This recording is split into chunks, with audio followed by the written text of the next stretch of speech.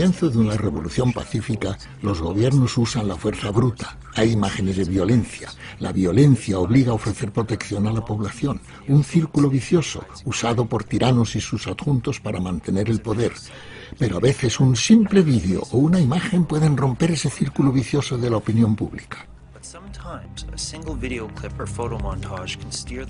¿Quién capta esa imagen? Rara vez los medios convencionales son demasiado grandes y lentos.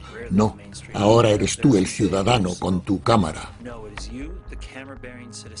En nuestro mundo es el pueblo quien capta las imágenes y las distribuye al instante al público sin problemas de intermediarios ni censuras previas. Piensa como en Egipto la televisión no pudo apaciguar a las masas. Mubarak intentó desconectar Internet, pero no pudo. Las redes sociales inundaban el país con miles de imágenes tan potentes que derrumbaron 30 años de dictadura en tan solo 18 días.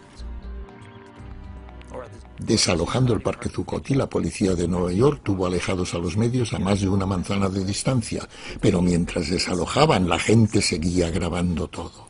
Si quieres formar parte de este grupo de reporteros o mejorar tus técnicas, tienes que ver este vídeo sobre cómo grabar una revolución.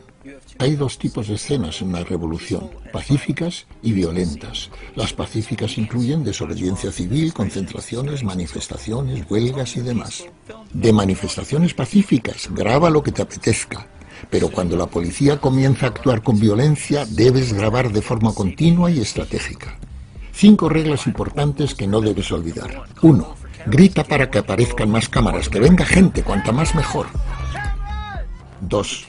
No grabes verticalmente, es difícil de entender y frustra al editor. 3. Mantente a distancia. No puedes grabar si estás herida o se rompe tu equipo.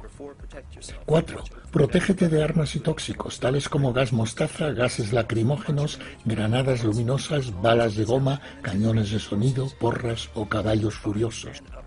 5. Defiende tus derechos.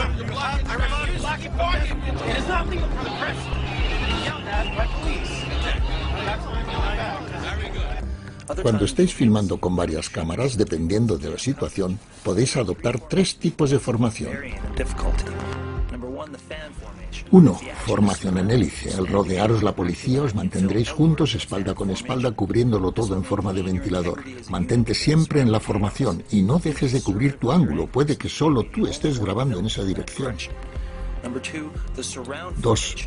Formación en círculo. Si la acción está concentrada en un punto, rodearle tratando de no separaros. Seleccionar bien los planos para no duplicar imágenes.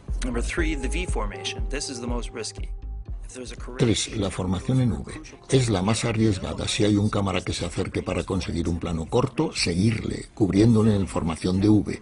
Filmándole se le protege, ya que ningún policía quiere ser puesto en evidencia con un vídeo que pueda acabar en la red. Rescatar al cámara si se ve atrapado. Si la policía le anula, sustituirle por otro. Lo más importante es pensar como una unidad y no en cámaras individuales. Cubriros las espaldas. El plano viene después.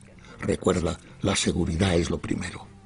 Antes de editar y crear una obra maestra, sube a la red rápidamente una copia de baja resolución para el público, indicando los títulos, fecha, localización y nombre y lugar del evento. Hazlo Creative Commons para que se pueda copiar y sea más difícil hacerlo desaparecer de la red. Y con esto termina esta lección. Recuerda que en una revolución pacífica cada prueba de la represión gubernamental violenta ayuda a los pacíficos. Trata de mostrar imágenes que revelen esos planes, sus tácticas y errores. Estamos en las asambleas, en las aulas, los cuarteles y los parques, listos para grabar cualquier abuso de poder cumpliendo con el reto de Orwell. Gran hermano, te estamos observando.